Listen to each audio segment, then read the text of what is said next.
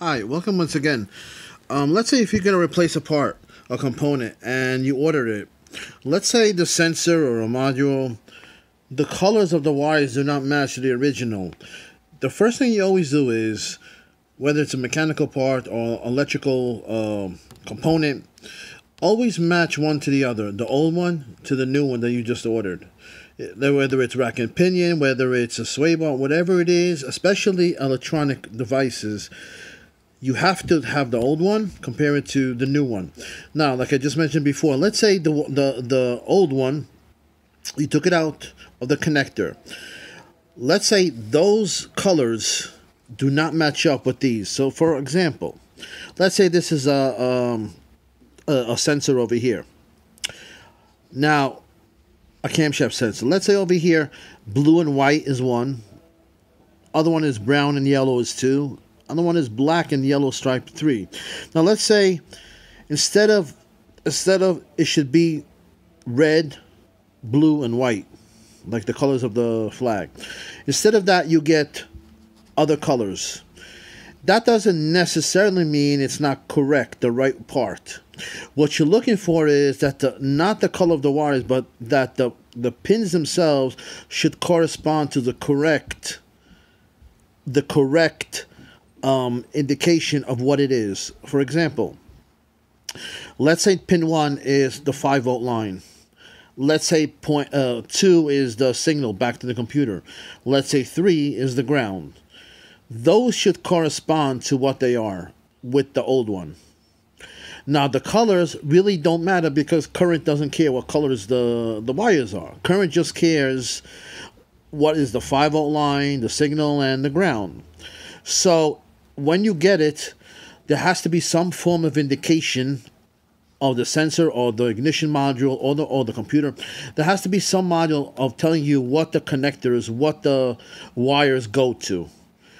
So even though the colors might be different, if the red one, the red one goes to the 5 volt line and 2 goes to the input signal and 3 is the ground, it's okay. Even though in this one it's the ground actually is number two, but it's okay as long as you know where the wires are going to and you can and it's connected to the old one in the same manner. Okay, so in other words, the old one can be uh look over here, uh blue blue and white, and the other one can be a red. Doesn't matter as long as they go both go to the five volt line, it's okay.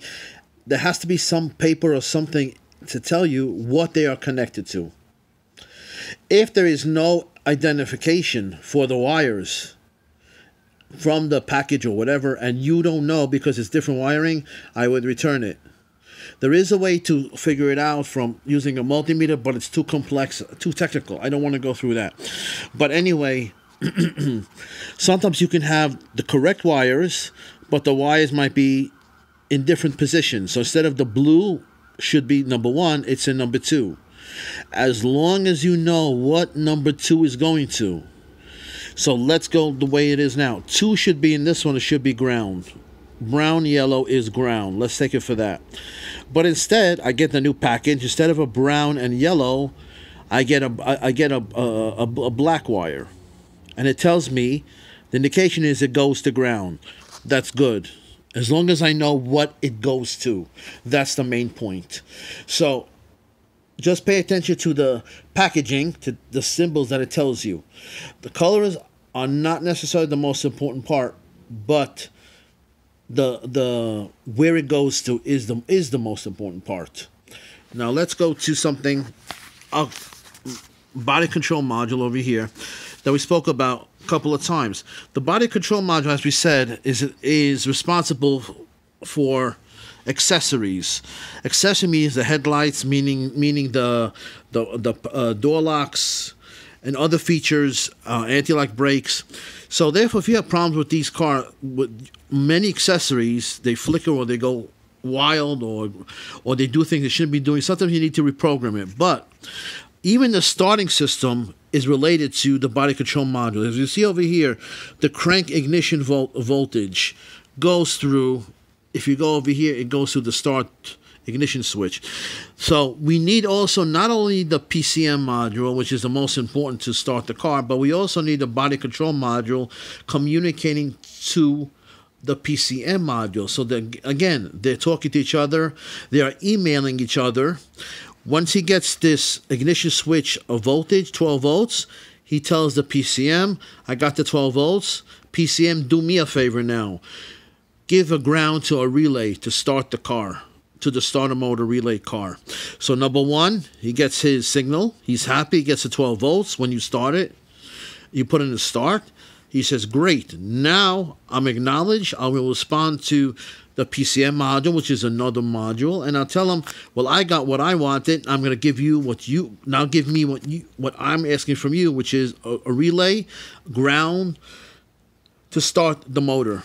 So this is not only for accessories. I was asked this, but also for the cranking. Also, it, body control module is also involved. Sometimes they don't communicate. You might have a problem with communications. A body control module, PCM module. So many things can go wrong. Obviously today with electronics. The, like I said before, the the today's cars they come out, modern cars come out. The more the the the modern cars today, the more electronics they have, the more sensors they will have the more modules they will have, the more they will have things going wrong with them. Today's Toyota Camry is not the same like it was 20 years ago. You can ask any driver from Uber or Lyft, he'll tell you, his dashboard is like a Christmas tree. It always lights up. There's always something telling him a warning light coming on all the time. It's not the same it was 20 years ago when they went 400,000 miles. But anyway, another thing to pay attention to X1 over here, let's say X1 over here is the connector. They're all numbered the same. So it's easy to make a mistake when you're looking for the for the for the wire. One, two, three, four, five. If you go to the next connector, X2, X1 is this one on top. X1, X, I'm sorry, X2 over here is also the same pin number. So it's a little easy to make a mistake to go to the wrong point, even though they are different colors. But still, first you find the connector X2. If I'm looking for X2 and I need the pin for pin 8 for the headlights, I'm going to go to X2, pin 8, headlights. If I need X2, uh, um, um, uh, pin 17 for the headlights on, on X2, I'm going to go for this one. And so on and so on. Just like you have this one you see over here?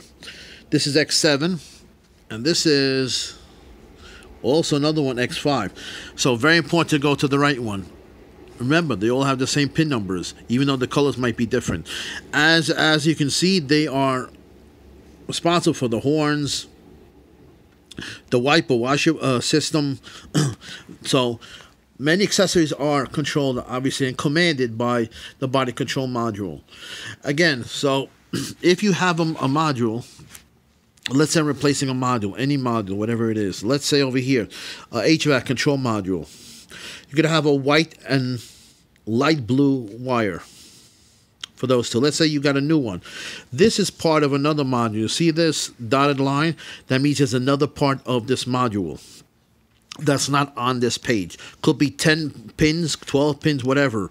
This is only part of it. We're only using two pins for the air conditioning. Just like power train control module. How many pins do you see here? One, two, three, four. Four pins. We know a powertrain control module has about 200 pins. Where's the other 190 pins, right? Well, they have nothing to do with the air conditioning system, which we're involved with now. So therefore, it only shows you what has to do with the the pins that have to do with the air conditioning system. But we but always be aware of that. So let's say let's say for HVAC, let's say I ordered this module. when I got it, I went to C11 or D8 different colors.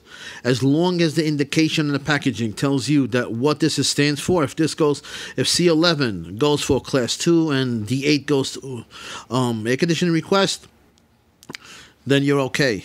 Doesn't matter that, it, that this might be the blue, this might be red, whatever. As long as they go to the proper location in the mod. Remember, There's many, many components in there. So I hope this answers some of the questions. So please go to my channel, Joe Electronic Schematics for Auto, and my other one, Automotive Electronic Schematics by Joseph, where you'll see more hands-on videos. Thanks for watching.